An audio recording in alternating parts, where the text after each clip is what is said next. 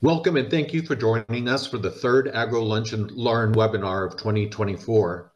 This webinar series is only possible through the generous support from Eurofins AgroScience Services. We thank Eurofins very much for their continuing sponsorship.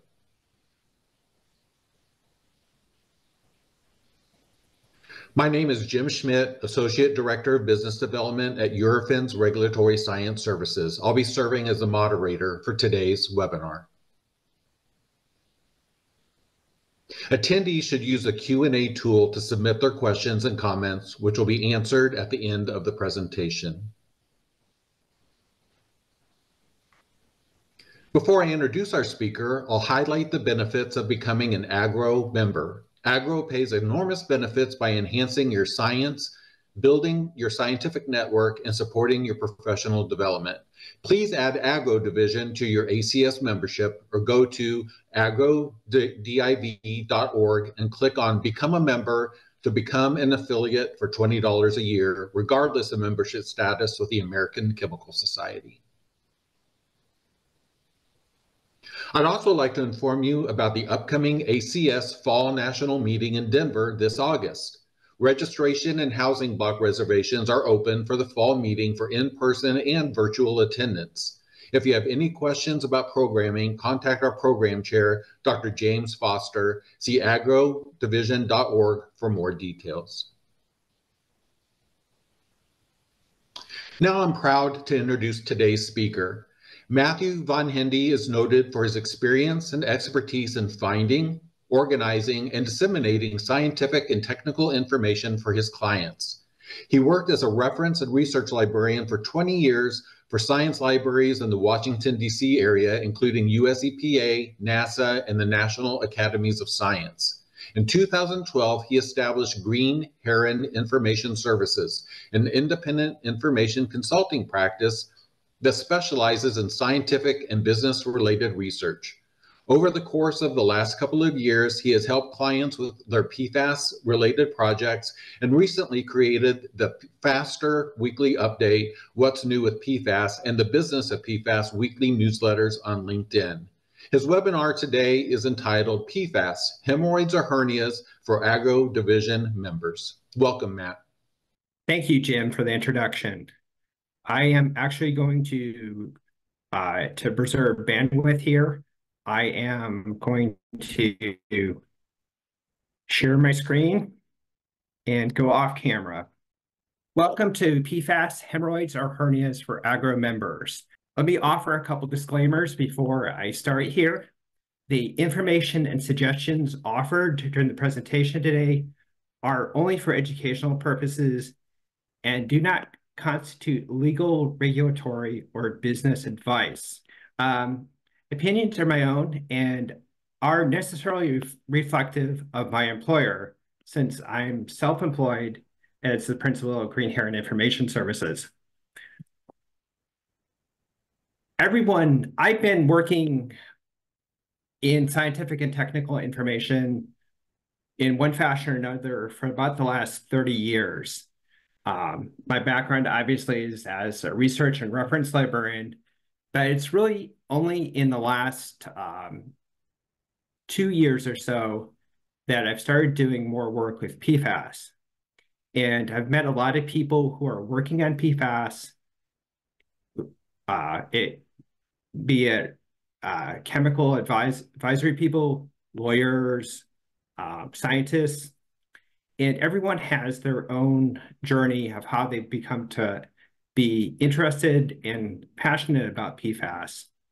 Um, I actually started working with PFAS with some clients that were working with the issue of firefighting foam, who are looking retrospectively at what scientists with different uh, US government agencies might have known.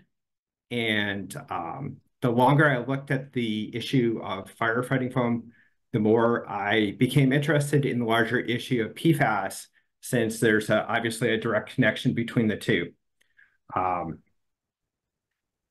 there, there are a lot, PFAS is a complicated, interesting area. It intersects a lot of different uh, disciplines. uh, the regulatory area, the legal area, and obviously the chemical and different science spaces. And one of the things I wanted to recognize is that there are a lot of people who are even going to be on this webinar who are going to talk, uh, have the expertise to talk at great detail about specific topics that I will only skim over.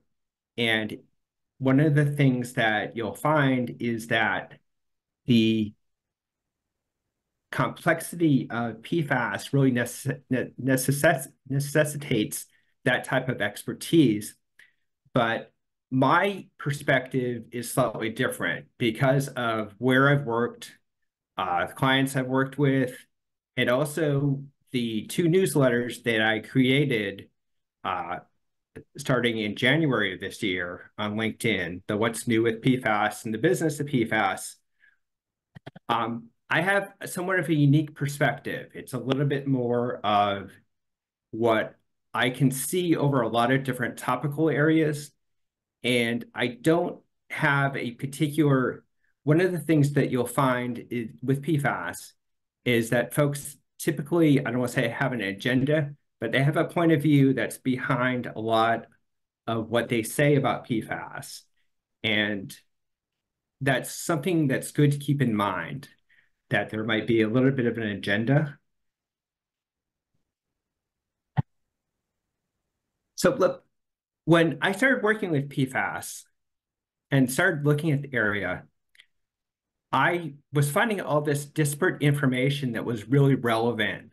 It could be notices from the US EPA or other federal agencies that were PFAS related. It could be uh, news articles from different sources that weren't uh, that were showing up. And I started to wonder if anyone was trying to gather this information in some type of systematic fashion.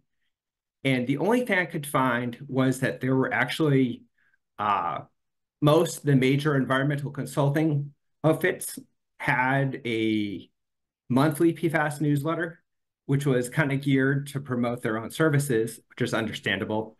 Um, there were a few other PFAS related resources that were out there, but nothing uh, that was trying to capture this on a weekly basis. Um, I started the newsletters uh, just as a, I figured I might get 100 or 200 subscribers. As of last week, uh, one of the newsletters, the What's Up with PFAS, has nearly 1,800 subscribers on LinkedIn, and the other, the business of PFAS, uh, has close to 1,500 subscribers. The interest has been, uh, I've been surprised by how much interest there's been. So obviously this topic is on the mind of a lot of people. Let me talk about what I'm going to actually discuss today. The goals are to, I'm going to provide a kind of 30,000 30, foot overview of what's happening with PFAS and the different areas when it comes to uh, PFAS regulation and some and and the science behind that uh, with PFAS and two of the major challenges that are there, which I'll get into in a moment here. I'm also going to discuss the in a lot of ways the regulation is ahead of the science when it comes to PFAS, and this has created a lot of uncertainty. Um, there are also uh, a lot of other issues that are driving PFAS regulation that I'll talk about as well. The uncertain, the disconnect slightly between the science and the regulation provides really a puzzle for companies and businesses about how to respond. And I'll touch briefly about the different approaches that businesses are taking to uh, the PFAS regulations in the US primarily. I'll touch on Europe and the European Union briefly. Um, the second half of the presentation, I'll talk about some of the specific PFAS regulations and how they're going to really affect agro division members, particularly who are involved in any supply chain management. And finally, I'll talk about some proactive steps that every all agro division members can take in preparation for uh, the PFAS re regulations and how you might be affected by them. So the question really comes in that everyone has about PFAS, or specifically about PFAS regulations, is how bad is it going to be? I was talking about three months ago with a financial analyst who was trying to rate one of the major chemical companies about uh, for institutional investors about whether or not they should buy or sell on the stock because of some PFAS related impact that was going on with the company. And the financial analyst I was talking to said to me, we, we've seen an entire range of modeling estimates about what the impact of PFAS is going to be. And in this particular case, the analyst uh, wanted to go with the least conservative estimate of how bad the impact was because they were actually talking, they wanted to, they wanted to give a very positive review of our, our positive recommendation to their institutional investors to buy the stock of this particular company.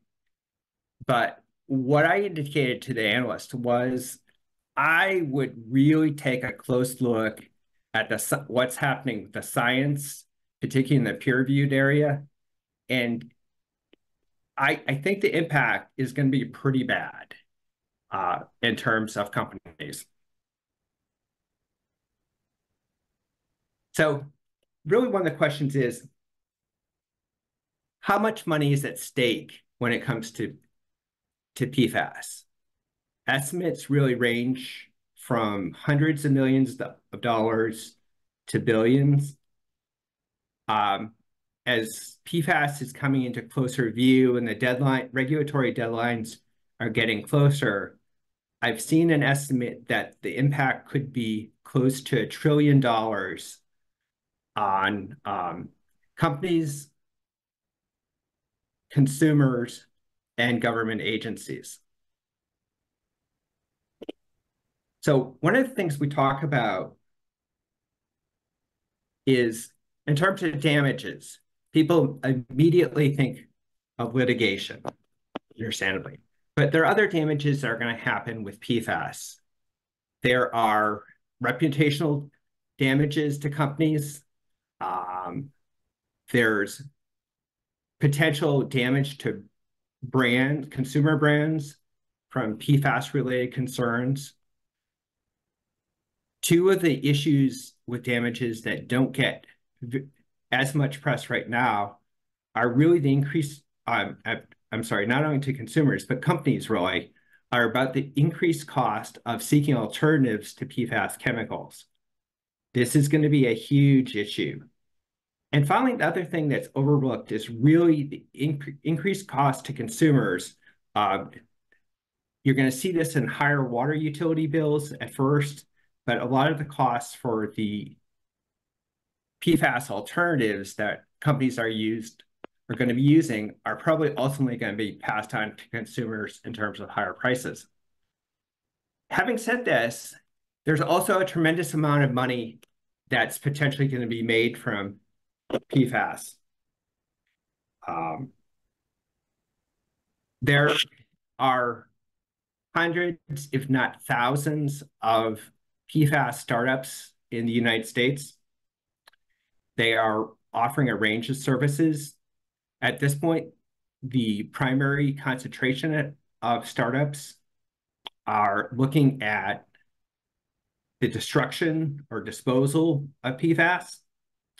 Um, I get, I probably hear from two or three of these startups each week in relation to the newsletters. There are also potentially a lot of money that's going to be made by chemical consulting companies, other consulting outfits when it comes to PFAS, um, alternative suppliers of substances and treatments for PFAS substitution. And so that's something to kind of keep in mind about this, that there there is both a lot of money to be lost, but there's also, also a lot of money to be gained when it comes to the marketplace of, of PFAS and PFAS regulation. So there's kind of an entire business component to PFAS. I think that there's going to be more money that's going to change hands with PFAS than was involved in all of the asbestos and tobacco litigation and resolution combined. So that's something to consider. So let's talk a little bit about some of the PFAS basics. What are we really talking about?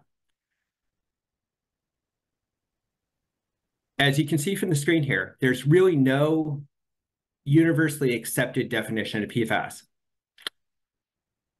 Most definitions of PFAS really are compounds that are characterized as uh, containing carbon atoms that are linked to each other and bonded to fluorine atoms at most are available, or most are all of the available car carbon bonding sites.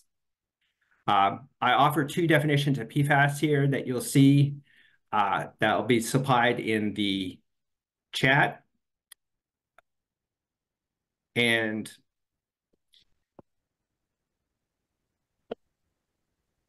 there are many people on the webinar today who can give excellent webinars about the PFAS chemistry that are actually way kind of have a much more expertise knowledge than I do.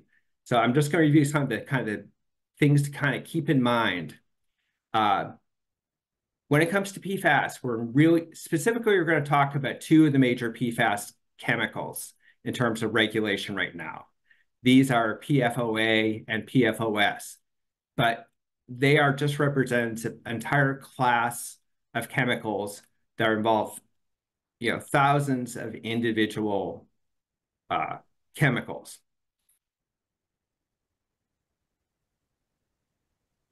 With the PFAS class of chemicals, there's an entire range of what these chemi uh, the composition of the chemicals. It's really complicated about how they're used and about potential treatments for their dis disposal or destruction. Um, PFAS chemicals, because of their qualities of stain resistance, water and oil, being resistant to stain, water and oil uh, and also having great adhesive qualities are used in an incredibly wide range of commercial, consumer, industrial products, which probably everyone knows about on this call. Uh, PFOA and PFOS, which I mentioned, really are legacy chemical PFAS chemicals. Their production is been banned in the United States or outlawed by decree between the e, uh, EPA and the industry but they are the most studied at this point and also the most regulated by EPA. Going back to the prior point about how comp, or prior two points, there are going to be future uh, regulation of other PFAS chemicals that will, will be coming. But currently, PFOA and PFOS are the most regulated.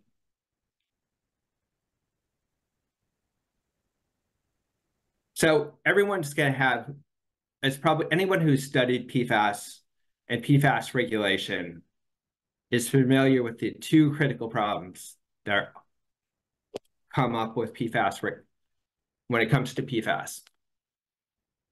The science, and this may be the most controversial thing that I'll say in the entire presentation here, but the science, particularly when it comes to direct connections between PFAS and adverse health effects in human in humans is unproven, at least when it comes to kind of real clinical medical hardcore evidence. There are, and I'll talk about the science here in a moment. Um, but that is certainly one big issue right now. The other big issue, obviously, is how do you ban a chemical that's involved is used in almost every aspect of human life or classic chemicals. Um, and so these are two big issues I'll talk about here uh, next. Um, and if this this doesn't present, doesn't give you a headache thinking about how you're going to respond to any type of regulation involving these chemicals, uh, then uh, my hat's off to you. When I say the science is unproven, what do I actually mean by this? Um, one of the newsletters that I put out, the What's New with PFAS, one section of this shows the most current peer, it's a sampling of the most current peer-reviewed research that's been published about PFAS. Um, I probably highlight probably between 10 and 12 articles each week in that newsletter. And three quarters of those articles talk about PFAS and adverse human health effects. This ranges everything to some examples, uh, liver, blood consumption, cardiac, metabolic, renal effects, DNA damage, um, and obviously cancer exposure. Um, probably 75% of the articles report on some potential link between PFAS chemicals and those adverse human health effects. But when it comes to actually proving beyond a reasonable doubt that PFAS is specifically causing those uh, adverse human health effects, really you need to have um, carefully done longitudinal studies over a period of years that control for all the ubiquity of PFAS. Um, and this is really a issue for the toxicologists out there who have this type of expertise. PFAS chemicals have only been really um, the ability to detect PFAS chemicals at a level where they can really be studied has only really been around and developed, I'd say, for the last 15 or 20 years in some capacity. And obviously, there have been big advances in the last um, five to 10 years. So there really hasn't been time to develop these longitudinal studies to the point where they can be published. Having said that the science is unproven, there are really strong suggestive links between PFAS and adverse human health effects. Um, I personally think that there is some type of connection, but when it comes to hardcore scientific evidence that you'll have in a court of law, um, I don't know if we're there. Let me put it that way. I think the be best apt comparison to the science might be to what was known in the 1950s between the connection between cigarette smoking and various adverse health effects. There, people knew that there was something there, but it wasn't until about another five or 10 years that there was a direct, a really unshakable connection that was proven between those two, between and it wasn't until the mid 60s that the federal government started putting out war requiring warning pack warning labels on cigarette packs, I think was in 1965. But having talked about the science being unproven uh, in terms of this degree of scientific certainty, it may be a moot point when it comes to damages related to PFAS if a plaintiff attorney can convince a jury of the scientific evidence between PFAS and adverse human health effects, this is going to open up a Pandora's box of potential liability for companies. And I think that there's enough suggestive evidence that's been compiled that this may happen in six months to possibly two or three years.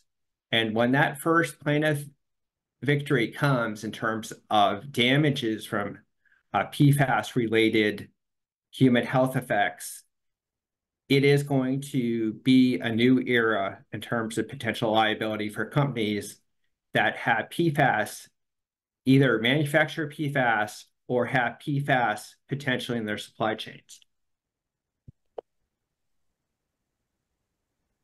The question always comes up, what is a safe exposure level for PFAS kind of related to what we're talking about? Um,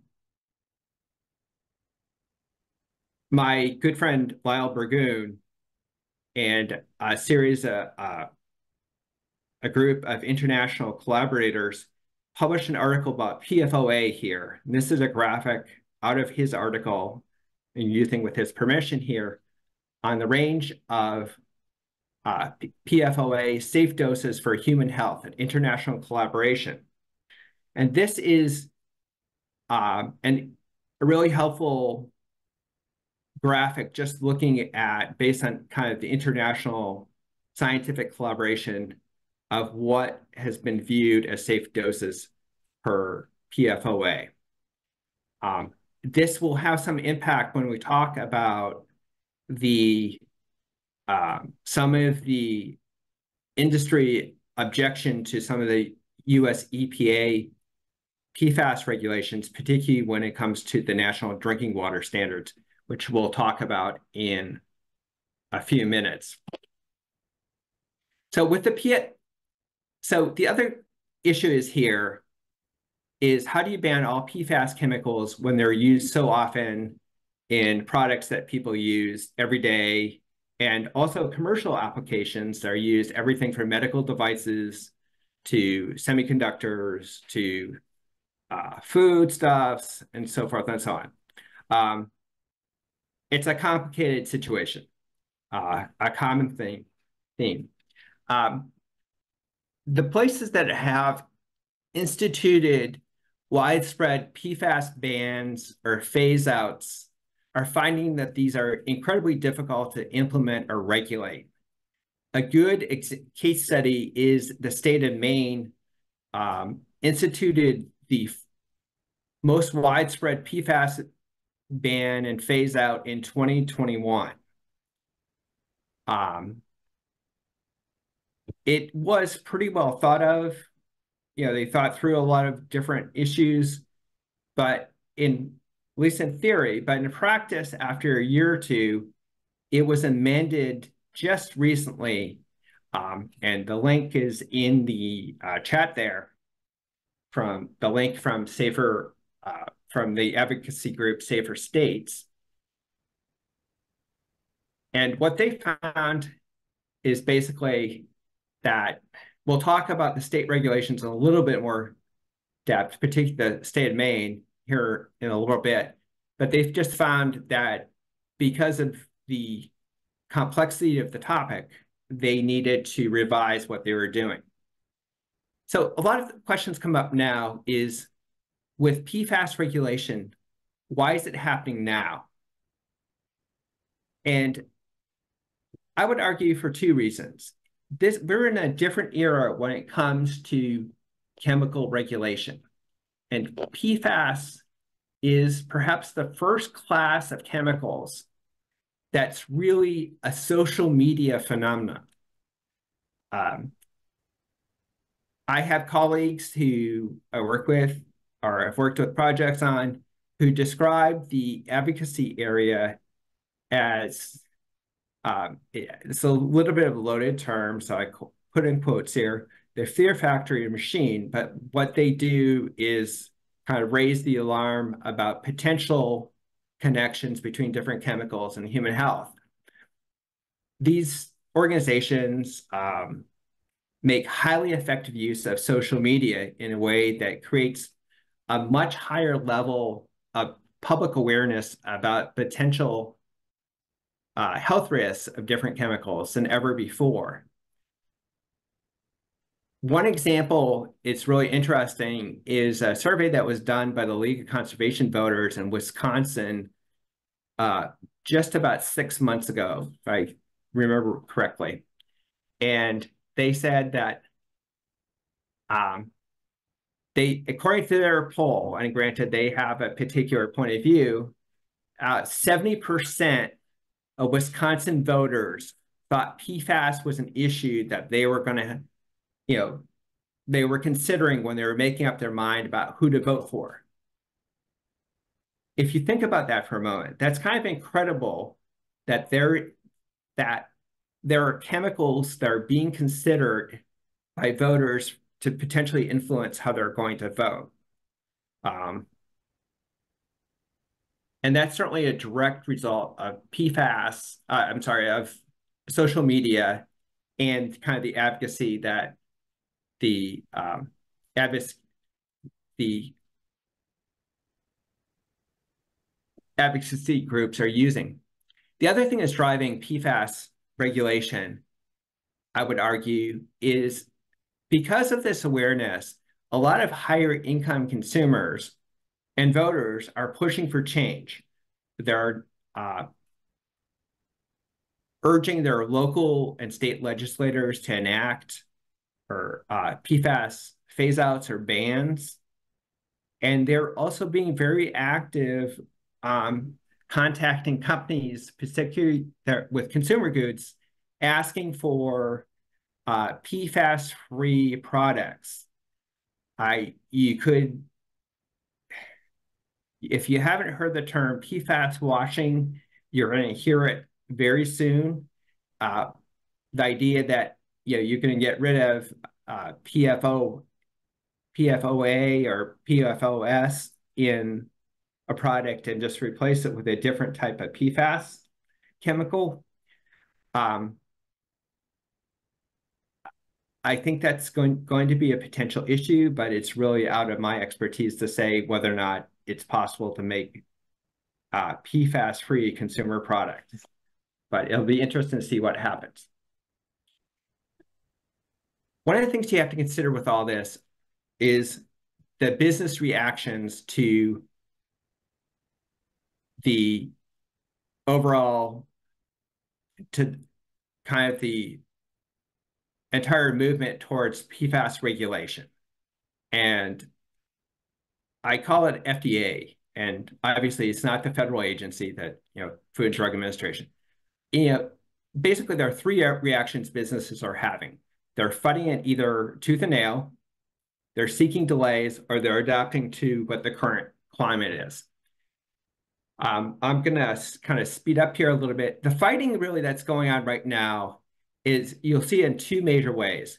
There are lawsuits that are being filed against the new PFAS regulations by different um, industry groups.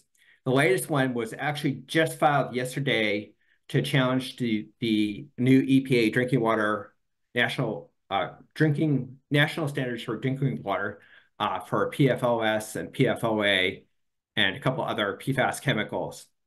Um, and the other that you should pay attention to right now are lawsuits that are pending before the Supreme Court about the re regulatory authority of EPA. And while these lawsuits don't specifically talk about PFAS regulations, they could potentially have um, a major effect about the agency's ability to regulate PFAS. There are lawsuits that are being filed directly.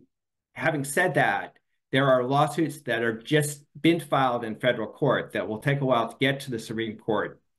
Um, and one that is coming up soon, that's kind of winding its way through, is the city of San Francisco challenging EPA's uh, PFAS regulations. That's another one to kind of keep in mind. A lot of companies are trying to seek a delay in the implementation of PFAS regulations. Um, they're really seeking an exemption from compliance with the new PFAS regulations. Um, some of the regulations do have exemptions built in, uh, particularly for a lot of public water systems. But uh, one example is a Senate committee, that, uh, a water coalition that's testifying recently before a Senate committee about uh, the importance of having a PFAS exemption from the new CERCLA uh, PFAS regulation. The other thing you're seeing are extensions of reporting deadlines that are being asked for um, and granted in a large degree. There are some companies that are trying to adapt to the new PFAS regulations. they are reaching out to their supply chain right now in term in anticipation of the uh, new PFAS regulations and what's going to be upcoming. One example, I take a look a lot of in the business of PFAS um, newsletter about the public, the SEC filings for public companies. And when they mention PFAS, and a lot of companies are starting to announce that they're phasing out PFAS in their pro consumer products. One example here is the outdoor supplier REI. So having said all this, let's talk about the specific things that will affect agro division members, uh, talk about the specific regulations that will affect agro division members when it comes to their supply chains. This is kind of the more not 30,000 foot view. The chief one here that most agro division members need to be aware of is the EPA recently enacted the TSCA reporting and record keeping rule. It was finalized by EPA in October of last year. Um, someone described this. There's a link in the chat to the actual rule itself.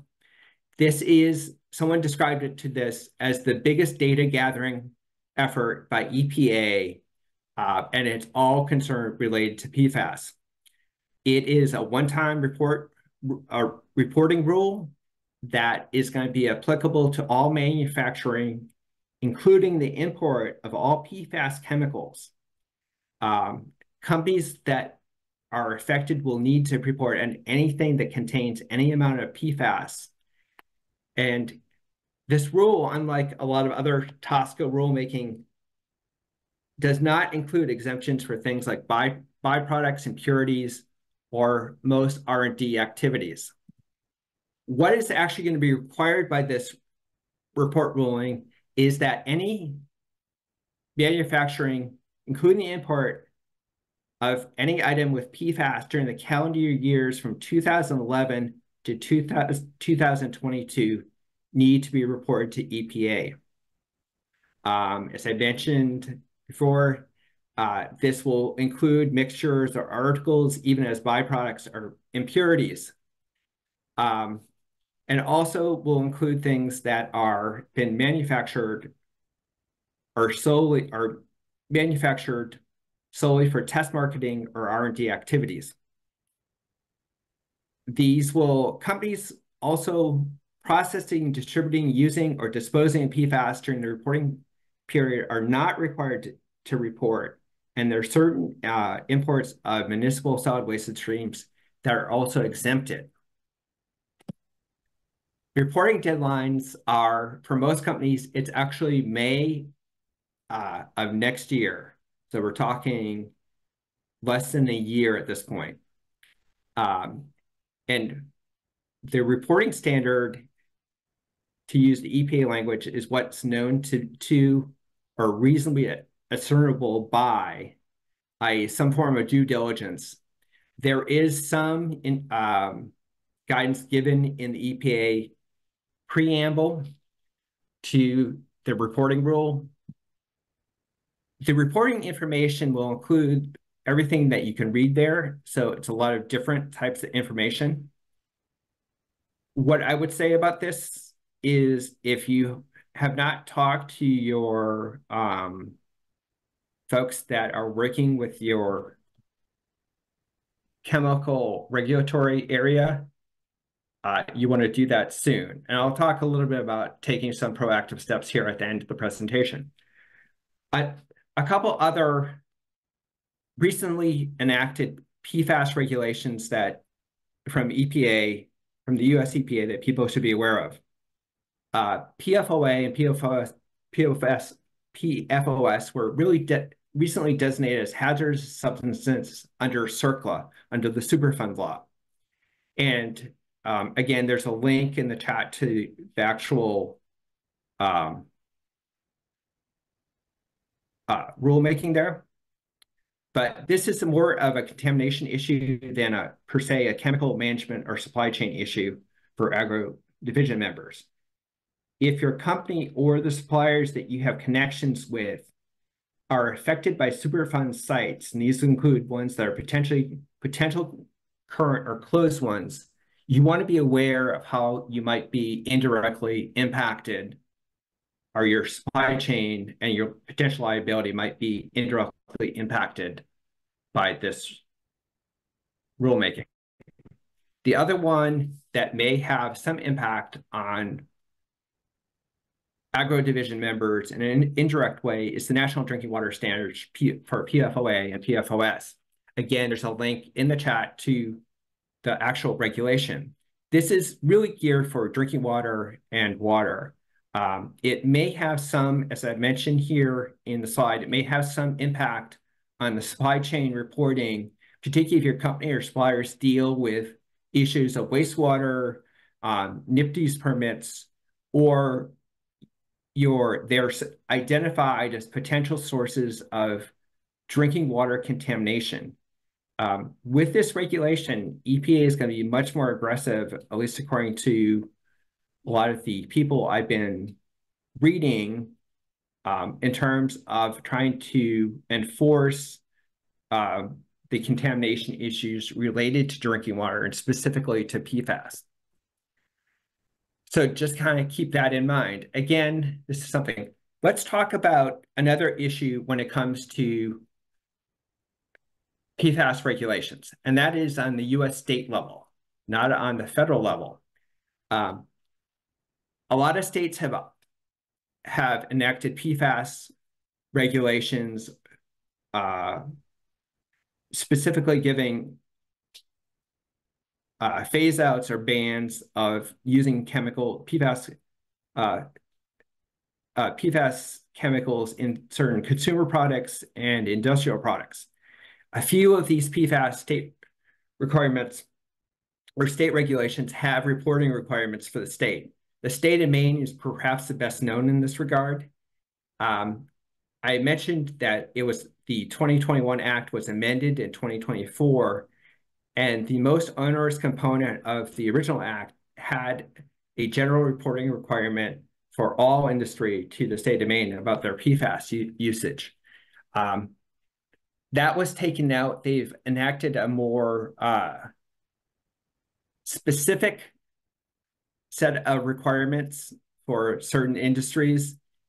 And so what I would suggest again is to check with your counsel or your chemical regulation consultants about this as well. But keep this in mind, this will be in addition to the state reporting requirements will be in addition to the US federal PFAS regulations that are out there.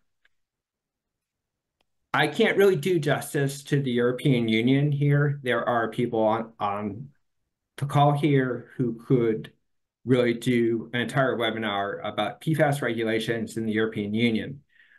Um, this is kind of an evolving uh, situation. The European Union is actually going to adopt something that is known as the universal PFAS restriction that was introduced to the EU by five countries in uh, 2020, the Netherlands, Denmark, Germany, Norway, and Sweden. The proposal is going through the EU decision-making process to various committees. It is expected to be adopted at some point next year. There are going to be exemptions for key industries and other uses.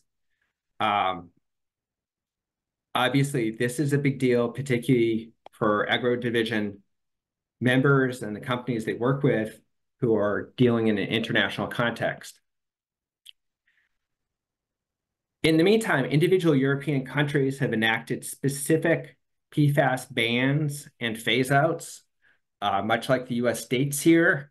Um, Denmark is one example. They have had a national ban, uh, PFAS and paper uh, board food contact material since 2020, but they are just passed within the last um, six months a ban on PFAS chemicals in clothing and shoes that's going to go into effect in 20 in 2026 or until those uh, items are supplanted by the U uniform PFAS restrictions that the EU uh, is considering.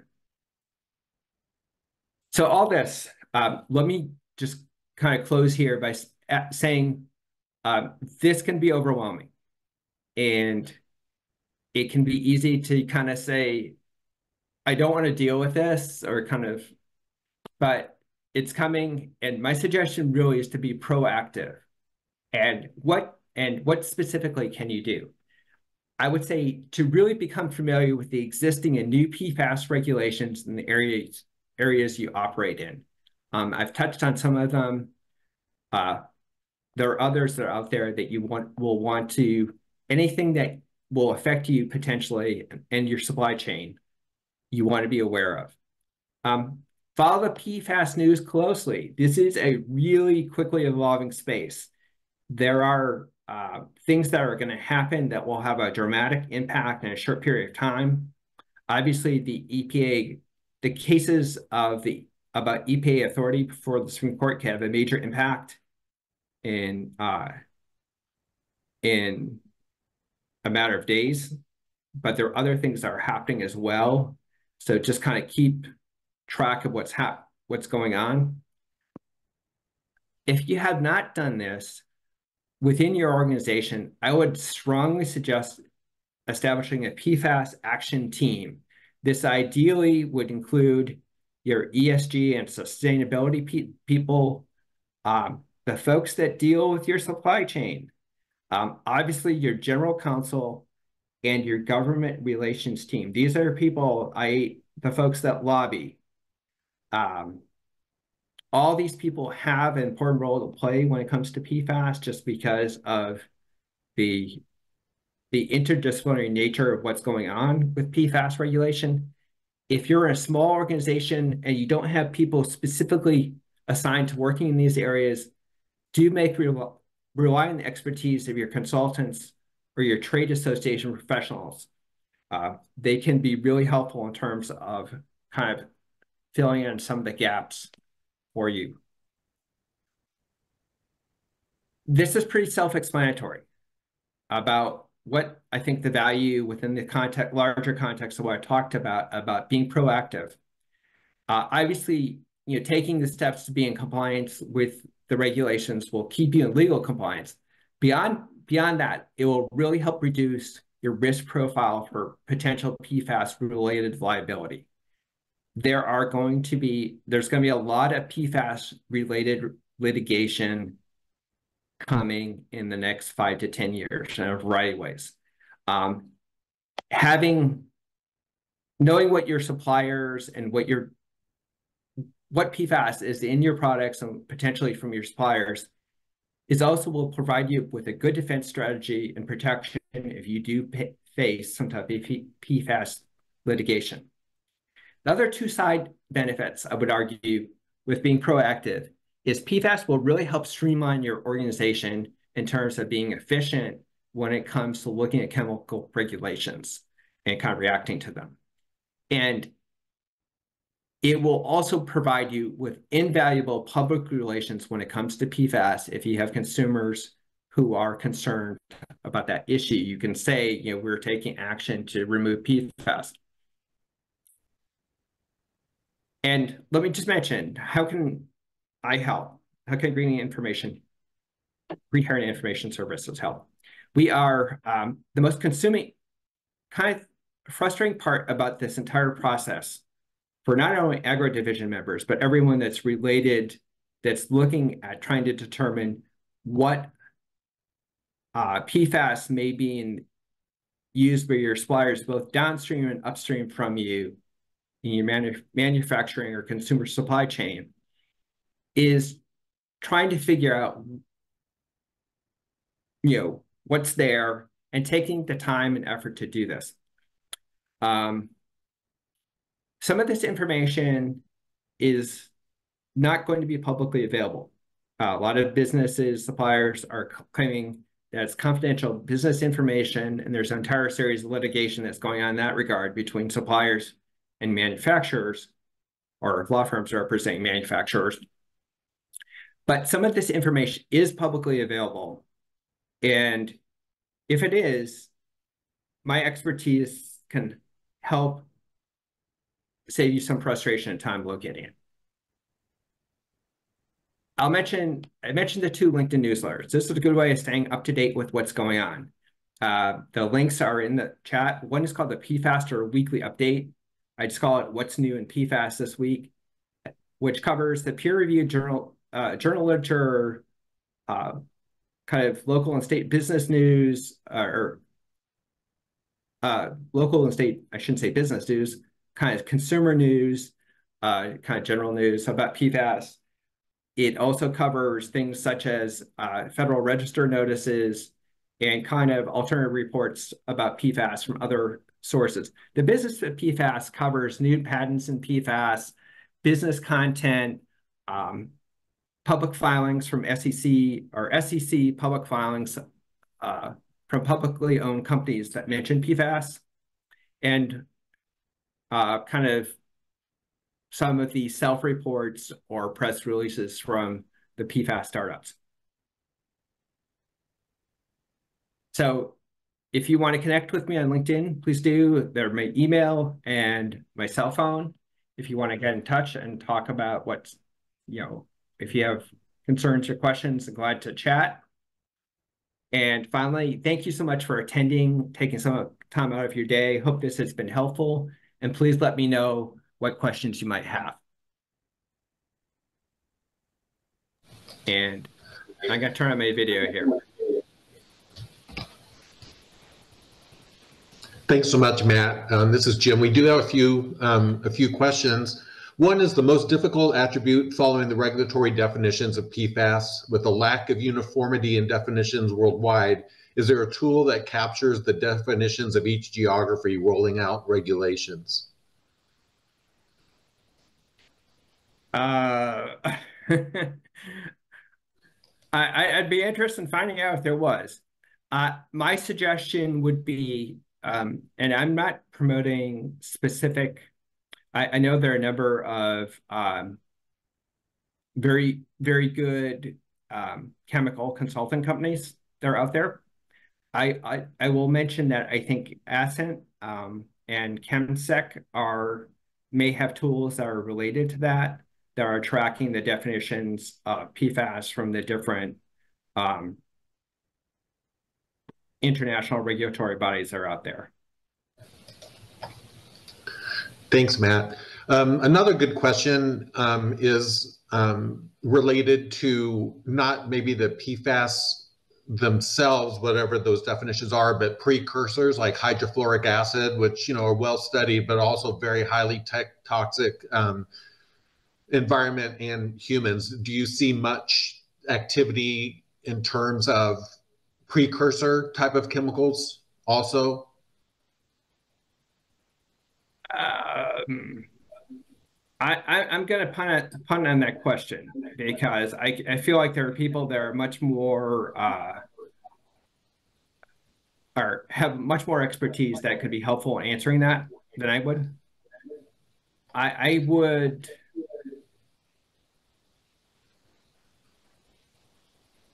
I, I think there are particular scientists out there who are working on this issue who could probably provide a much uh, provide a pretty clear thought about that.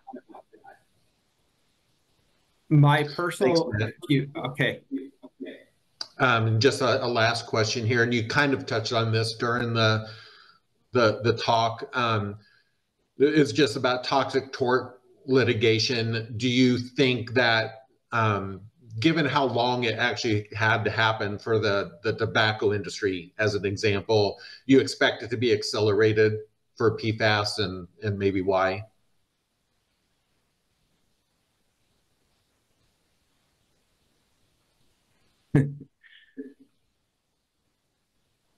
I, I, well, I think what's most telling about this are the the chemical companies that have faced uh, potential litigation um, that you're talking about places like DuPont and Chemours. I mean, obviously they've spun off, but they made calculations about they're they're paying out literally billions of dollars, and I think their estimation is that it that it it's more money up front in the short term, but the long term uh, costs are going to be worse than that. Um, you know, I'm not privy to any of that, but I kind of think that my my my personal feeling is that it's going to be quicker than the tobacco litigation, uh, partially because of the issues what we talked about with social media and consumer um, consumer uh, prodding of companies to change things. I think that there's uh, more of an organized system of plaintiff attorneys out there than there was with tobacco things, but that's my personal opinion. Um, it, it's an interesting question. Thanks, Matt. And then just a known question to myself. Um, I mean, I think the attendees here are going to be um, really familiar with the, the scientific literature because they're exploiting that for so much else that we do. But given your resources and practice, what are some unexplored or untapped information resources that the audience should know about? Um,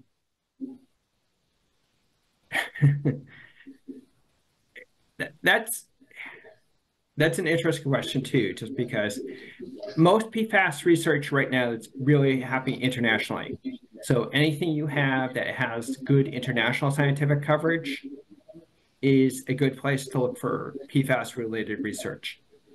And one of the things I would suggest um, in terms of, you know, I've got a, a, uh, a US bias here because that's the environment I work in, but some tools that people underutilize for PFAS when it comes to things are even basic things like PubMed, which is a publicly available database most people are familiar with, but it has a tremendous amount of PFAS related content that's there, and including stuff that's beyond human health.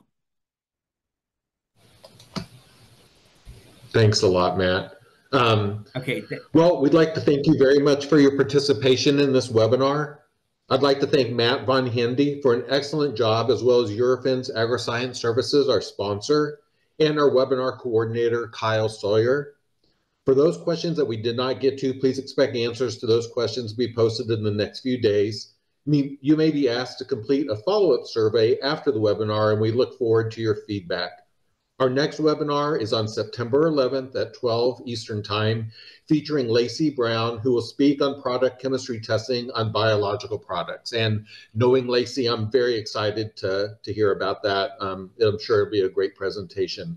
If you have any ideas for future webinars, please contact Solito Sumalong, the chair of the webinar committee. Thank you for all of your attention, and we'll see you on September the 11th.